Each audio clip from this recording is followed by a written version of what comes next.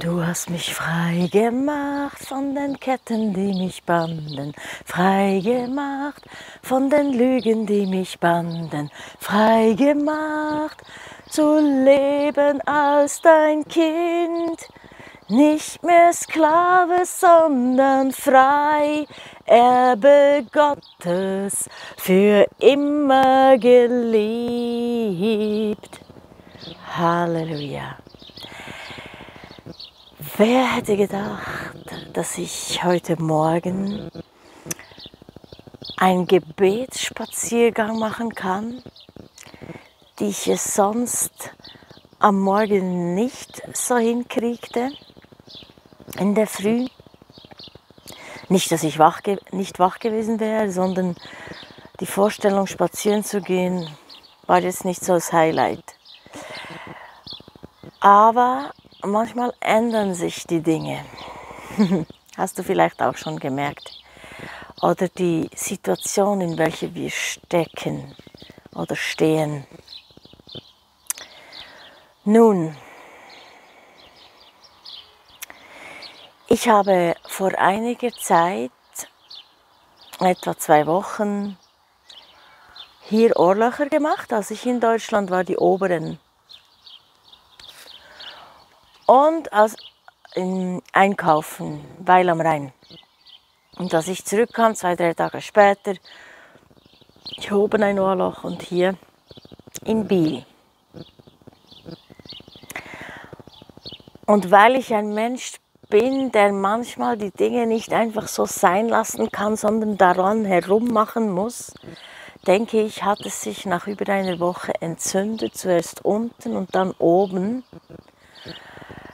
Gott sei Dank war ich gestern bei Freunden, wo der eine von den beiden in der Gesundheitsbranche arbeitet und sagte, hey,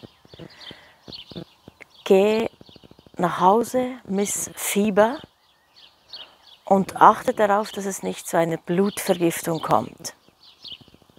Der Moment, wo ich das hörte, hat meine Psyche schon verrückt gespielt. Ich kriegte Kopfschmerzen, die Körpertemperatur hat sich erhöht. Nichts Neues für mich. Aber ich breche das jetzt im Namen Jesu. Ich will neue Dinge erleben, gute Dinge. Denn dies ist der Tag, den der Herr gemacht. Lasst uns fröhlich und fröhlich sein. Ich kam zurück, jawohl, Fieber. Dann habe ich schon angefangen, ein wenig zu weinen, ging zu meiner Schwester und fragte sie, ob sie mich in die Notaufnahme bringen kann. Denn die Notaufnahme war angesagt laut Telemedizin, Telearzt. Und ja, so fuhren wir in die Notaufnahme in ein Spital, wo ich viele Jahre Vorurteile dagegen hatte, respektive diese vielleicht auch von Dritten übernommen habe, ohne eine eigene Meinung zu bilden. Und dort angekommen wurde ich wirklich sehr kompetent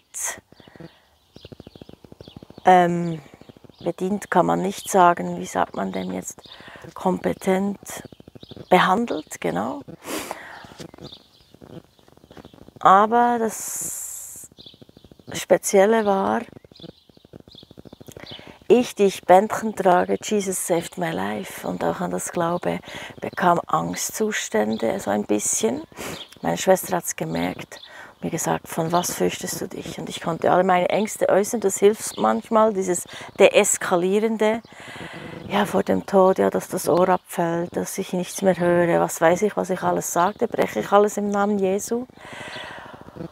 Und die Pflegeassistentin sagte, sind Sie eigentlich, ist alles nur negativ jetzt gerade bei Ihnen? Weil, als ich hörte, ich muss Blutentnahme machen lassen, sagte, viel Vergnügen, wenn Sie mir Blut nehmen wollen. Keine einfache Geschichte. Natürlich habe ich nicht mehr diese Angst, die ich als Kind erfuhr, als ich da wie ein Trauma erlebte, was Blutentnahme, was Spitäler, was Ärzte betrifft.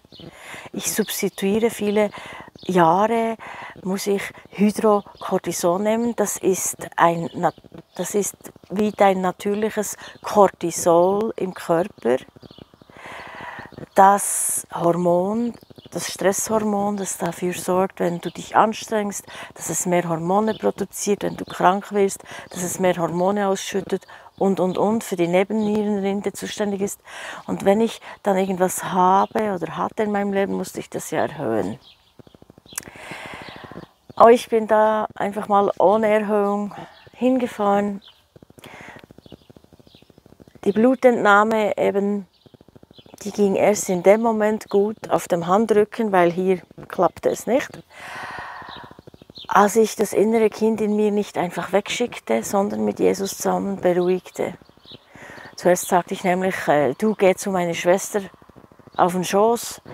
Sie tun nicht dir weh, sie tun mir weh, aber es hat überhaupt nicht geholfen. Es hat dann wirklich erst geholfen, Perspektive bei Jesus abholen und selber zu mir oder zu dem inneren Kind sagen, beruhige dich, es kommt alles gut und dann ging es mit dem Blut. Halleluja. Meine Schwester hat dann erkannt, dass da immer noch aus der Kindheit eine Art Trauma ist. Damals kam ja so ein Geist des Todes. Natürlich habe ich in all meinen seelsorglichen Begleitungen, äh, die ich selber erfuhr und an anderen machte, auch immer wieder Get Free, Get Free, Stay Free, Schichten abgetragen. Heute im neuen Bund weiß ich, kein Dämon hat Autorität über mich respektive kein Anrecht über mich. Egal was meine Vorfahren taten, es hat kein Anrecht an mir, aber sie versuchen es. Und deshalb gebe ich heute vor dir als Zeuge einfach alles nochmal genau ab, was in der Kindheit war, jeglicher Geist des Todes, durch den Herzfehler, durch die Kopf-OP, alle Ängste, die ich ausstand, all das bringe ich zu Jesus, diese negativen Bilder und ich tausche sie gegen die Bilder, die Jesus für mich hat. Ich sah nämlich auch, wie, als meine Schwester mich fragte, wo ist Jesus gerade im Raum, wie er auf meinem Behandlungsbett saß und mir die Hand hielt. Selbst wenn wir mal Selbstmitleid haben, sagt Gott nicht einfach, weißt du was, komm wieder, wenn du nichts mehr hast, sondern er kann es verstehen, er liebt uns, natürlich sollen wir nicht dort drin stehen bleiben. Also mir sind einige Lichter aufgegangen. Wo brauchst du vielleicht Heilung? Wo brauchst du es, dass du mal genau hinschauen lässt in deinem Leben? Die Brille Gottes anziehst seine Perspektive abholst. Vielleicht ist es auch umgekehrt. Du siehst so dunkel und Gott macht es ganz hell in deinem Leben. Wenn du von seiner Sicht aus auf dich, auf dein Leben, auf deine Umstände, auf deine Mitmenschen schaust. Wo erhöht sich deine Körpertemperatur, weil du gerade am Kämpfen bist in einer Sache.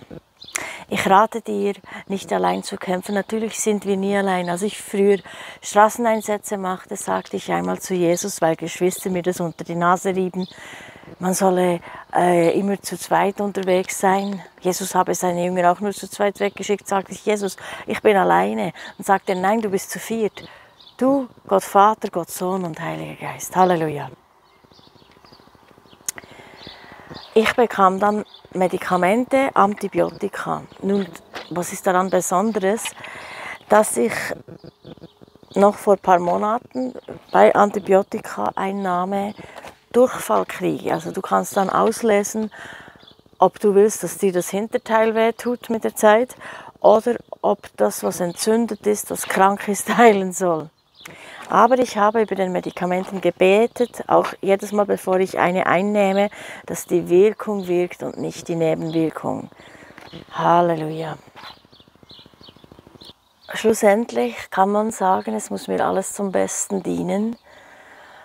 Auch, dass ich einfach dann so viel Zeit mit meiner Schwester hatte, sicher über eine Stunde. Natürlich muss man dafür nicht ins Spital oder so ein Drama-Akt erleben. Aber wir hatten viel Zeit, durch das, dass wir warten mussten, bis der Blutbefund da war, die Blutwerte Ärzte konsultiert wurden, HNO und so weiter, hatten wir diese Zeit und es war eine wertvolle Zeit, weißt du, wirklich Qualitätszeit. Vielleicht hörst du die Vögel im Hintergrund. Ob es regnet, ob es schneien würde, wenn es jetzt nicht Vögel sind, die im, ähm, wegziehen über den Winter.